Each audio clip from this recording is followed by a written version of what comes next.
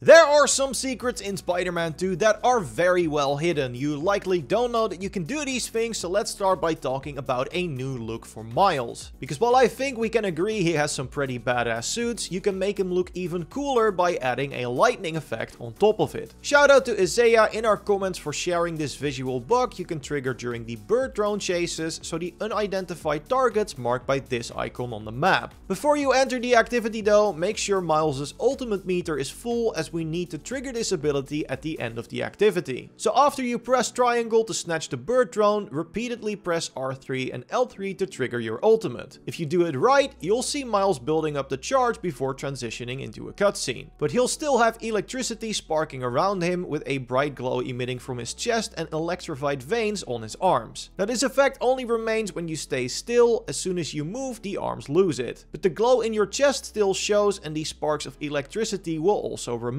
And then this effect remains active for as long as you want it. You can swing around, switch suits and even go into combat with this overcharged look on Miles. Even using abilities does not make the effect go away, the only thing that does is activating your ultimate ability again. So keep that in mind if you don't want the lightning to disappear. So yeah, if you have some of these unidentified targets left on your map, definitely try this out for yourself to make Miles look even cooler. But once you grab all of the bird drones, there's also a cool easter egg waiting waiting for you. You'll get the location for an apartment in New York, which has a very nice piano sitting in one of the corners. When you approach it, a voice memo will trigger and music will start to play.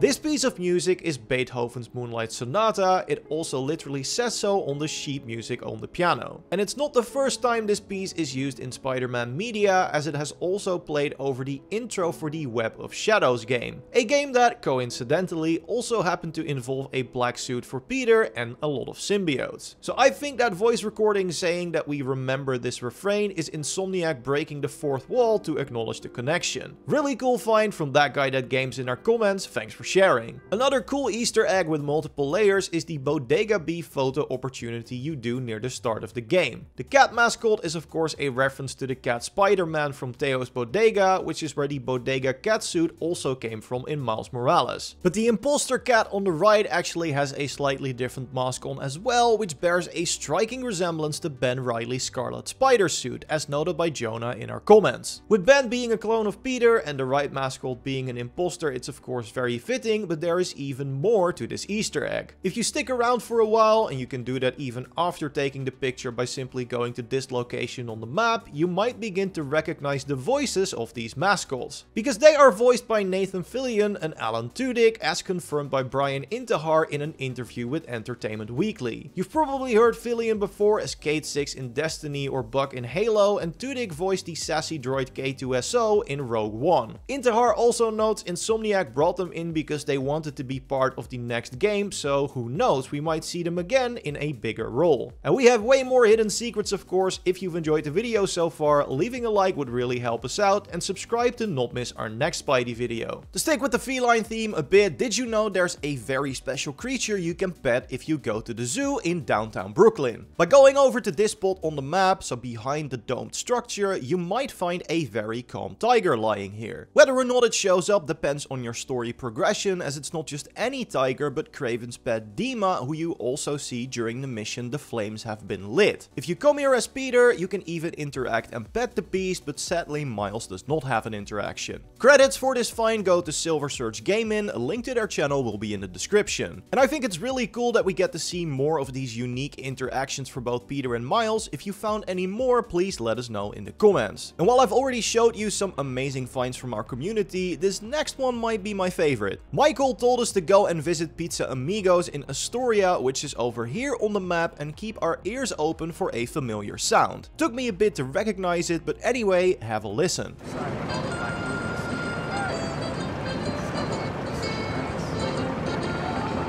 Again, this is another piece of classical music that has been used in Spider-Man media before. In this case, it is an Italian piece called Funiculi Funicula by Luigi Denza. While the original version you just heard is very well known, it also served as the inspiration for the pizza delivery minigame soundtrack for the Spider-Man 2 movie tie-in game. Even if you didn't play that one, high chance you've heard the song before thanks to its popularity in internet culture. Either way, the original can be listened to at Pizza Amigos in Astoria and other pizzerias in the area too. You can even switch tracks by opening and closing your map, although I'm definitely keeping Funiculi on full blast as soon as it starts playing. You have to be pressed up against the store to hear it though, so sadly you cannot play these songs while you move around the city. But once you're done listening to this masterpiece, I recommend you also take a short trip to Midtown, because as noted by Chef Venom in our comments, just like in the first Spidey, there is an Insomniac Games building you can find in Spidey's New York over here on the map to be precise. They did update the logo in between games and thanks to Spidey 2's more advanced tech, there is now more going on inside as well. No hints for the plot of Spidey 3 from what I could see, but at least they seem to be hard at work. And there are many wonderful companies in New York you can work for, including a certain Rand Corporation. Yes, there is no end to the references to other heroes as Danny Rand, aka Iron Fist, supposedly also exists in Insomniac's story. During the BV Club Fair mission for Miles, you have to rescue one of the teachers at Brooklyn Visions. While you try to free her, you can catch a short part of her interrogation where she mentions that she worked for the Rand Corporation. Thanks to Parzabees for letting us know about this one. Now this next secret is very well hidden as you can only reach the secret room related to Kraven by going out of bounds. If you glitch under the map and web swing and glide to a very specific spot over here on the map, you can find an area that was ultimately scrapped from the game. It shows a throne that would have clearly belonged to Kraven and behind him are wall mounts displaying the heads of Shocker, Vulture, Scorpion and Rhino. Full credit to CLKZ on YouTube for this find which caused quite a lot of speculation over Rhino's eventual fate as this room of course implies that Kraven hunted him down. But I think these assets are from a previous draft of the story which means these head trophies have no implications for the actual story of the game. The approach to the room and the room itself kind of remind me of a rough draft of Bad Guys on the Block where you eventually see the video of Kraven killing Scorpion. An alternate reveal could have been introducing Kraven on his throne with the heads of four Spidey 1 villains mounted on the wall behind him. I don't recommend going to the spot yourself though, you can't even get into the room and have to wiggle your way in with photo mode, plus apart from the trophies and throne, there is nothing to see. Much more fun is to use this out of bound glitch for some trippy photo mode shots, which you can achieve by going to this spot on the map in the financial district and just dropping through the ground close to the fence here. So you can use that to reach that secret Kraven room I just mentioned or again to take some weird pictures. Another great trick for some awesome shots is making use of one of Peter's unique stunt poses. In case you don't know, if you dive with L3 then hold square and back on the analog stick, Peter will pull out a Rubik's Cube, of course a reference to Spider-Man Noir from Into the Spider-Verse. But unlike your other stunt animations, this one actually has an end as when you fall for long enough, you will complete the cube and Peter will proudly display his little project. The best place to perform this trick is in the financial district by climbing this specific very tall building. Stand at the edge, perform a charge jump, dive down and pull out the Rubik's Cube. You should have enough airtime from this height to complete it before you hit the ground. And by the way, credits to Kabuki Sage for the discovery, you can find a link to their channel in the description. Now for this next one, we're going to make use of another glitch to get out of bounds, although this time we're doing it with someone who's not supposed to explore the entirety of New York. Because during the FNSM request Graffiti Trouble, which starts over here on the map,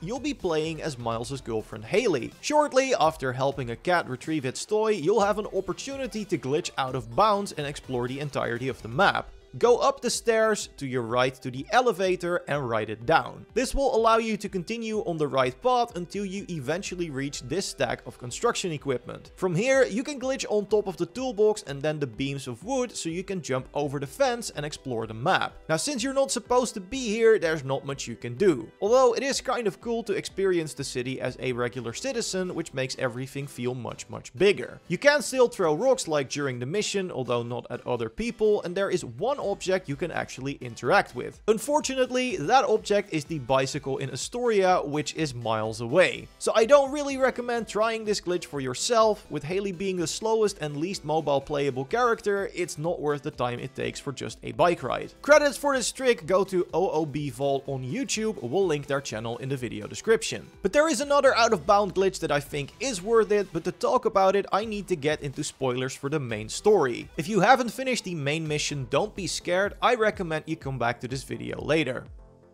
Okay, if you're still here, you probably already have an idea what we are going to talk about. Because during the mission Don't Be Scared, you're of course playing as Venom, so I hope you have a save close to this point. Because there is a trick you can do to get out of bounds and explore the whole city as this monstrosity. The glitch was discovered by YouTuber Ellemen, so I'll link to their video on how to get out of bounds if you want to try it yourself. Once you get out, you'll see that like with Haley, there are civilians out on the streets, but very few things you can interact with as Venom. So if you were hoping to tackle some Mysteriums as the big guy, I'm sorry to disappoint. But with Venom being a lot faster than Haley, crossing the bridge over to Astoria to take a ride on a bike is definitely worth it. And yeah, honestly, I don't know why this is possible either. The animation is absolute nightmare fuel, but it's one of the few things Venom can actually interact with. The other thing you can do is head over to the Wakandan embassy over here on the map, because just like Miles, Venom can perform the Wakandan salute in front of the building. Again, it's a pretty cursed image, but at least it allows for unique photo mode opportunities. As a final tip, steer clear of water when playing as Venom. While you don't die when coming into contact with it, Venom can get stuck in the river and become unable to jump, ending your little tourist strip of New York. Which might be a bit of karma for me trying to glitch in the first place, as it also goes without saying that neither of these last two tricks are supposed to be possible. I'm guessing they will be patched out with future updates, we'll of course let you know if anything changes in an update video, so subscribe to make sure you don't miss it. And of course, course, at the end of every video, we highlight some of the coolest community screenshots from our Discord. If you want to participate yourself, link to the Discord will be in the pinned comment. And Joyce, come in, show us which awesome shots you've chosen this time. Yes, thanks Dennis. What's up everyone? Let's start with Godfiend, who created a very on-point shot using the Thunderbolt to their advantage as if Peter found his true calling. Kind of reminds me of a famous painting.